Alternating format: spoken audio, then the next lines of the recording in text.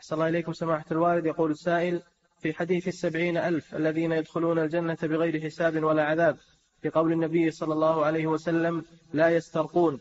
يقول هل من طلب من الطبيب العلاج لمرض بسيط كالبرد ونحوه يخرج من السبعين ألف؟ العلاج مباح الحمد لله. لكن المراد بالحديث أن الإنسان ما يحتاج للناس.